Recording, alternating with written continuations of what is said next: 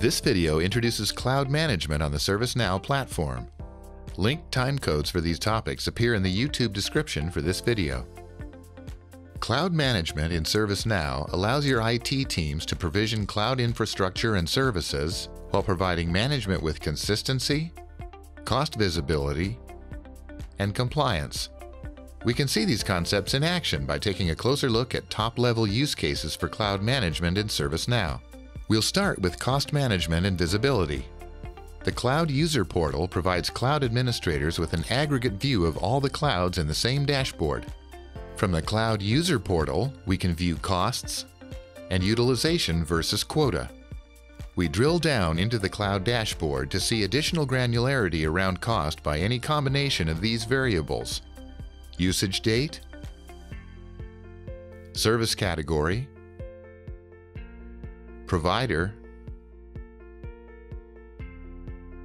data center, and business service. By clicking a point or a section on a chart, we can drill down to individual items. Now let's look at our next use case, self-service for end users. The Cloud User Portal allows cloud users in your enterprise to serve themselves. The Cloud Catalog, accessible from Launch a Stack on the home page, displays the user's authorized cloud resources.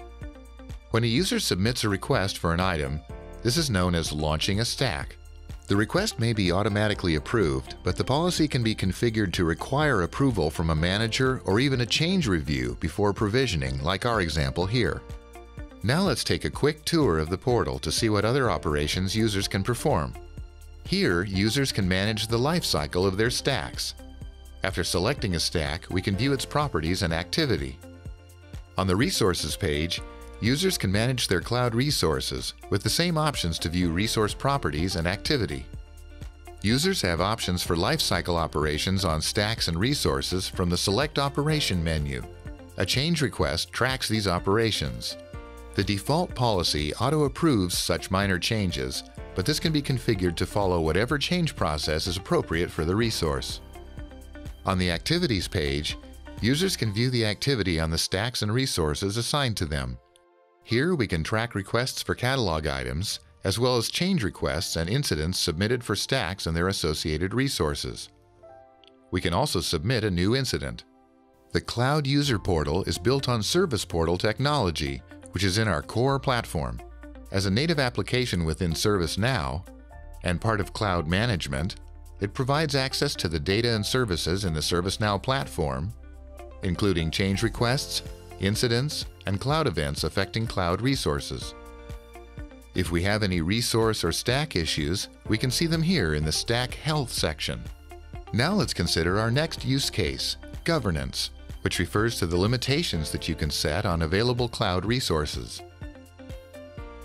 You can run discovery on your cloud accounts to discover the resources within each data center, then set capacity limits on those resources. This works in conjunction with quota configurations that allow you to control usage of a resource block by setting usage quotas for individual users or for an entire group. You can also implement policies, which give you a detailed level of control over approvals, resource operations, blueprint operations, and catalog items. Use policies to do things like run or abort a workflow, execute a custom script, or override a value like this one does. This policy is triggered when the blueprint is provisioned. It has two rules. Let's look at the first one. This rule has no conditions, so it will always run when the policy is triggered. This action copies the stack name into the VM DNS name field.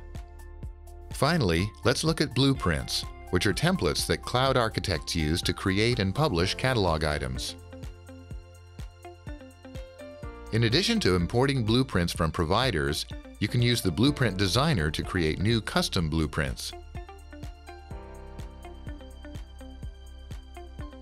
The Blueprint Designer allows cloud architects to design catalog items by assembling blueprints of reusable objects. Creating blueprints provides several advantages in cloud management. One, they simplify and speed up delivery of offerings into the service catalog. Two, Blueprints are cloud agnostic, which means that cloud resources can be designed without needing to know the underlying cloud service provider. Ready to start using cloud management for your organization? In the next video in our series, we show you the initial setup steps. For more information, please consult our product documentation, knowledge base, or podcast, or ask a question in the ServiceNow community.